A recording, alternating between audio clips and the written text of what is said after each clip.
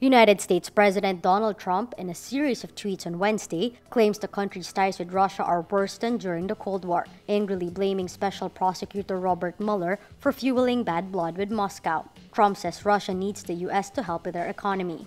He tweets, quote, Much of the bad blood with Russia is caused by the fake and corrupt Russia investigation, headed up by the all Democrat loyalists or people that work for Obama. Mueller is most conflicted of all, except Rosenstein who signed FISA and Comey letter. No collusion, so they go crazy.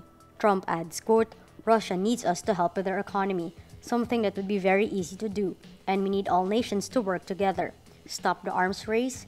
But the American president also mocks Moscow's threat to shoot down any US missiles targeting Syria. Trump tweets, quote, Russia vows to shoot down any and all missiles fired at Syria. Get ready, Russia, because they will be coming nice and new and smart. He also slams Moscow for its ties to the regime of Syrian President Bashar al-Assad. Trump says, quote, You shouldn't be partners with a gas-killing animal who kills his people and enjoys it.